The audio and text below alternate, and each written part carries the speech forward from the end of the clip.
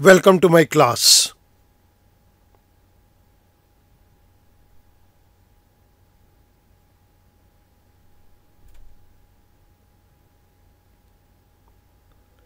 The Indian Contract Act 1872 इस particular video lecture के अंदर हम बात करेंगे लैप्स ऑफ़ एन ऑफ़र एक ऑफ़र का समाप्त हो जाना.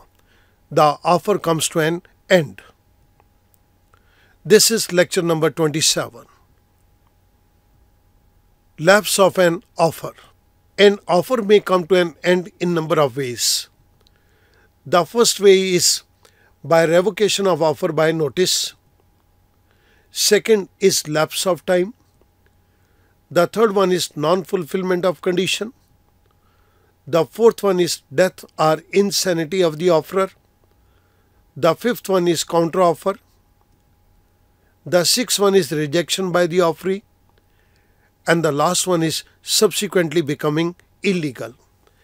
इन सभी केसेस के अंदर एक ऑफ़र समाप्त मानी जाएगी आइएगा इन सभी पॉइंट्स को एक एक करके टेकअप करते हैं the first one is revocation of offer by notice एक व्यक्ति ने ऑफ़र दी, वो अपनी ऑफ़र को कैंसिल करना चाहता है इसके लिए उसने एक नोटिस दे दिया कि मैं अपनी ऑफ़र को कैंसिल करना चाहता हूँ।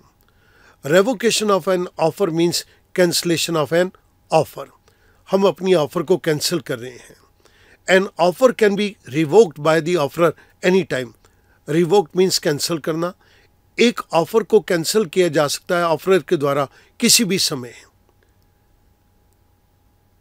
However, revocation is effective only if it is made before the offer is accepted.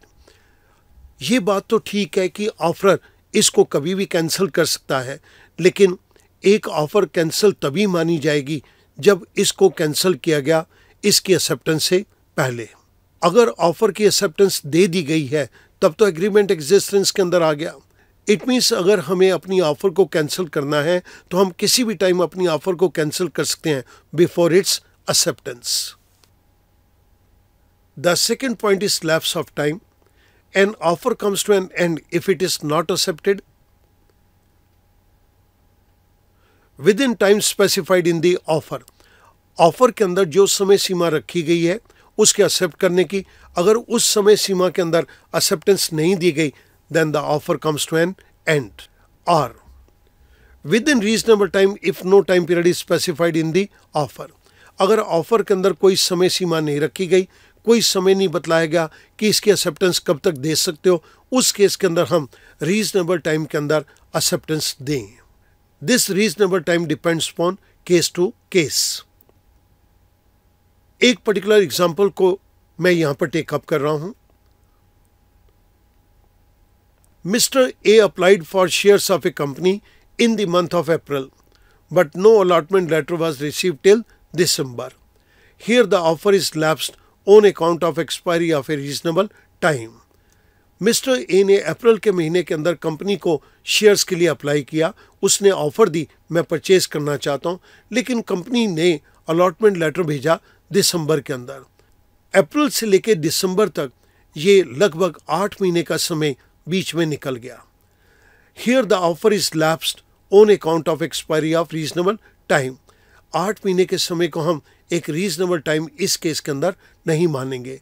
So mister A के द्वारा इस कंपनी के शेयर को परचेस करने की ऑफ़र समाप्त मानी जाएगी। The next point is non fulfilment of condition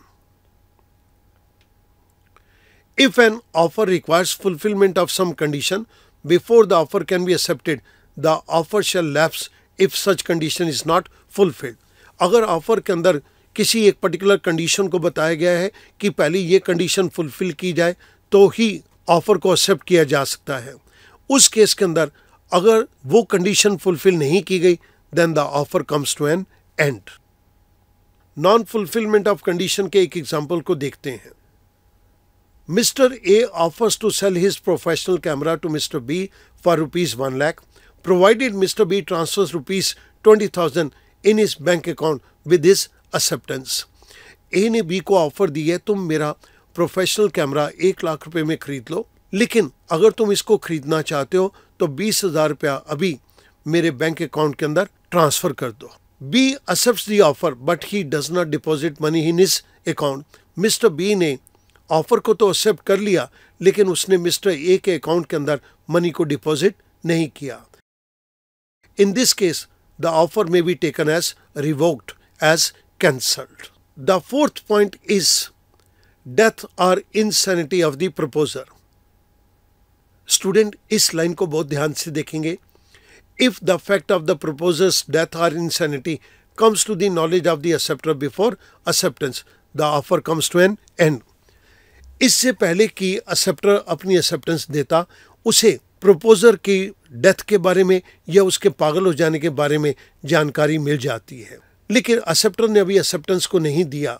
In that case the offer comes to an end if the proposer dies after the acceptance of the offer the legal representative of the proposer shall be bound by agreement in this case the offer can not be taken as revoked suppose कीजिएगा student proposer ने एक particular चीज़ की offer दी और acceptor ने उस offer की acceptance they the.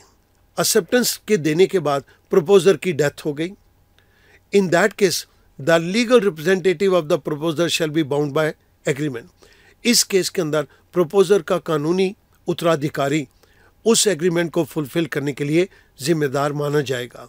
In this case the offer can not be taken as revoked यहाँ पर हम ऑफ़र को कैंसिल नहीं मानेंगे। The next point is counter offer an offer is terminated by counter offer of the offeree जो original offer दी गई है उस ओरिजिनल ऑफ़र को समाप्त मान लिया जाएगा। अगर उस ओरिजिनल ऑफ़र के ऊपर ऑफरी ने कोई काउंटर ऑफ़र दे दी है। The six point is rejection by the offeree Mister A wants to sell is motor bike to Mister B but Mister B उसको एक्सेप्ट करने की जगह उसको वहीं पर ही रिजेक्ट कर देता है। जैसे ही मिस्टर बी ने रिजेक्ट किया कि मुझे तुम्हारी मोटर बाइक नहीं खरीदनी the offer stand cancel it comes to an end the last point is subsequently becoming illegal. ये हमारे पास एक पॉलिथीन बैग है। Mister A proposes to sell every month ten tons of plastic bags for rupees one lakh to Mister B. Next day, the government regulation declares the sale and purchase of plastic bags in the country as illegal. Government की regulation ने plastic bag की sale और purchase को next day ही illegal declare कर दिया। जैसे ही गवर्नमेंट रेगुलेशन आता है offer comes to an end student इन सभी केसेस के अंदर आपने देखा कि ऑफ़र समाप्त मानी जाएगी। आइएगा, हम इन पॉइंट्स को समराइज करते हैं।